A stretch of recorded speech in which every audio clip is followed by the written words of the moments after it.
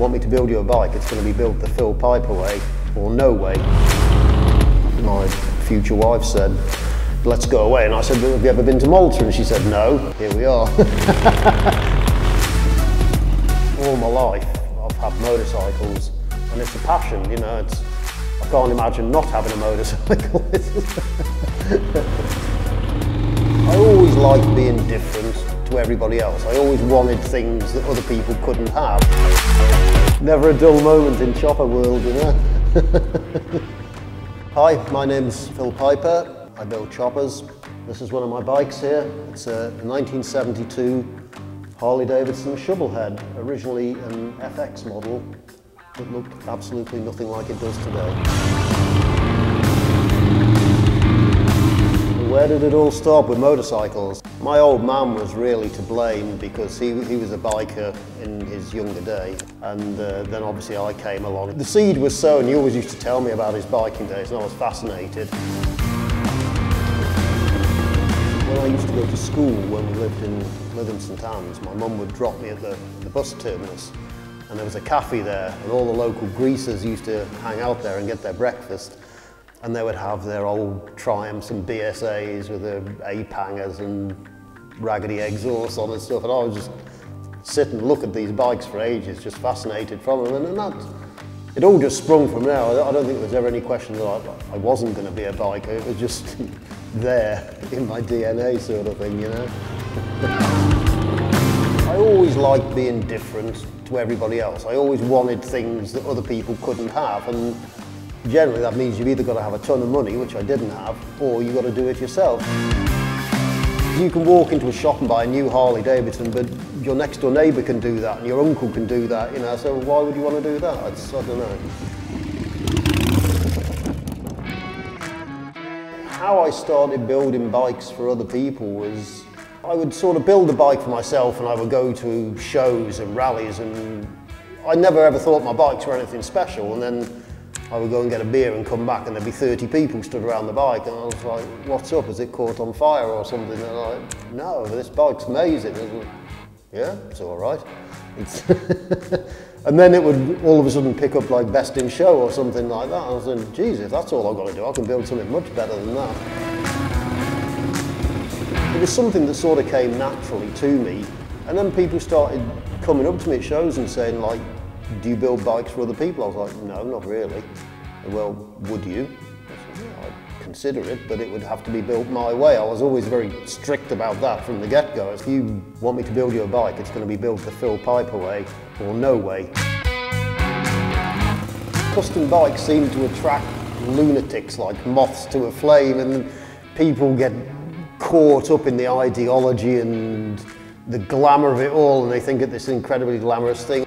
I mean, I used to have one customer and he wanted me to build this bike and he was a really wealthy guy and he wanted to come and check on the progress of his bike because I'm flying down to see you. And sure enough, he dropped in in a chopper, just parked it up in the field behind and got through. I, I suppose I've been quite lucky really because I've met some pretty colourful characters along the way. I built a bike um, for myself, it was about 2003. The chap who bought it, he phoned me up out of the blue, a South African guy, and it turned out he was the European Director of Procurement for Kellogg's. Pretty high-flying guy. And he saw it at a show, and he said, how much do you want? And I said, I don't know. And he said, well, just think of a number. He says, tell me, and it'll be in your bank account in the morning. I was like, oh, okay, then I just dreamt up a number off the top of my head, and sure enough, it was in my bank account in the morning. Happy days. Never a dull moment in chopper world, you know.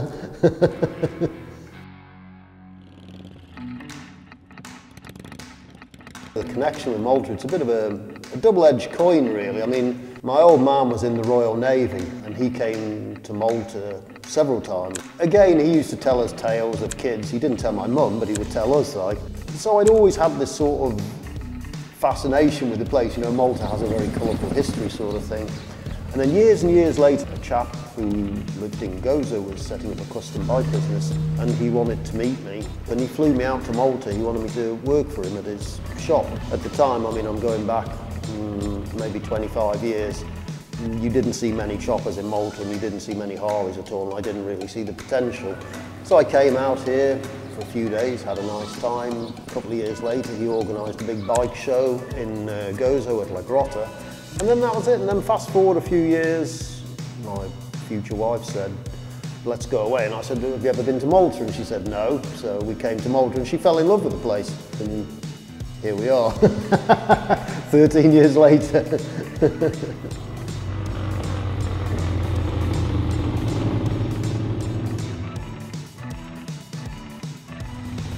Riding a chopper, I mean, this, for me, this is a fairly sensible chopper because it's got suspension. A lot of the bikes I built in the UK were not sensible choppers. They had no suspension, long forks, huge engines, two litre plus engines in them and everything like that. But I was always build them so you could ride them. I mean, for me, if I couldn't sit on the motorway at 90 miles an hour and take one end off the handlebars and the bike would be rock steady, then it was no use to me. A bike has to perform as well as it looks sort of thing. I, like performance. If I wanted to go slow, I'd buy a little hatchback, you know, it's, but it isn't. I, I like bikes because you can get from A to B quite fast and the, the, secret is to look good while you're doing it as well. Hence the chopper sort of thing. Shovel Trouble 3. I wouldn't call it a pure chopper, although the frame has been chopped. Can't have a chopper with a standard frame, that's cast in stone chopped a load of brackets off and everything like that, moved the suspension back, fitted a brand new late model six-speed gearbox with an electric start. It's a matching numbers 1972 bike, but the motor has been stripped. It's a lot faster than Messrs Harley and Davidson ever intended it to be back in 1972. So it's quite a lively little thing. Shovel Trouble 3 came from a shovel head chopper back in 1990 when I stripped the motor down, it, it was a disaster. Everything was on the, the brink of self-destruction. So that bike became known as Shovel Trouble and it, it became reborn as Shovel Trouble in 1992.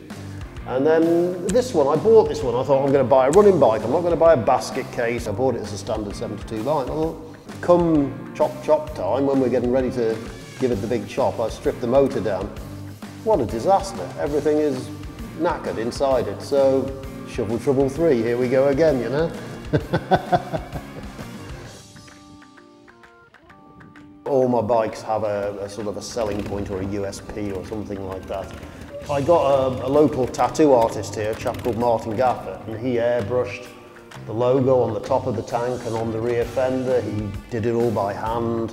The number one Harley Davidson logos I had done by uh, a friend of mine who's a painter in England. He's one of the top UK custom painters, so I sent that to the UK.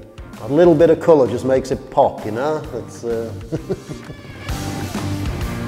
the magazines seem to love my bikes, I suppose, because they're not boring. I I've lost track of the number of magazine features I've done. I think I have more front covers than anyone else in the UK. I've always been passionate about my bikes, you know, it's all my life I've had motorcycles um, and it's a passion, you know, it's, I can't imagine not having a motorcycle.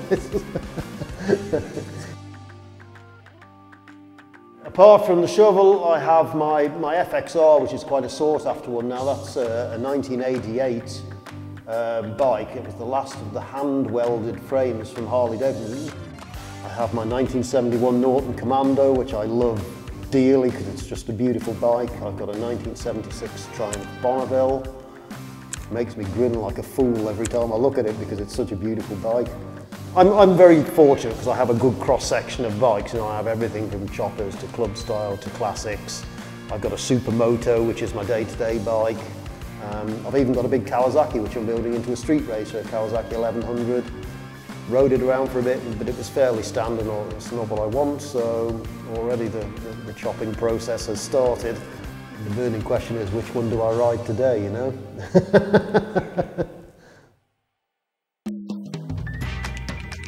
so I'm lucky because I sort of appreciate most motorcycles. I won't say all because some of them just leave me stone dead. If, if you show me a, a, Japanese thing that's just encased in plastic, you know, I, I can't tell a, Honda, from a Yamazuki, from a Huflung Dong to whatever you run sort of thing, you know?